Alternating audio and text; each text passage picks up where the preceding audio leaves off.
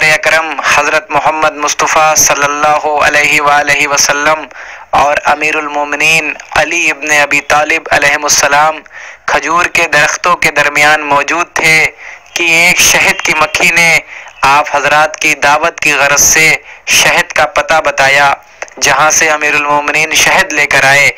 رسول خدا صلی اللہ علیہ وآلہ وسلم نے شہد کی مکھی سے پوچھا کہ تمہاری غذا پھولوں کے شگوفے سے کڑوی ہوتی ہے۔ بس کس طرح وہ کڑواہٹ شہد میں بدل جاتی ہے۔ شہد کی مکھی نے جواب دیا، شہد میں مٹھاس آپ صلی اللہ علیہ وآلہ وسلم اور آپ کی آل کے مقدس ذکر سے، کیونکہ ہم جب بھی شگوفے سے استفادہ کرتے ہیں، تو اس وقت ہم پر الہام ہوتا ہے کہ آپ صلی اللہ علیہ وآلہ وسلم پر تین مرتبہ درود بھیجیں۔ بس جب ہم کہتے ہیں، اللہم صلی علی محمد وآل محمد، تو اس درود کی برکت سے ہمارا شہد میٹھا ہو جاتا ہے۔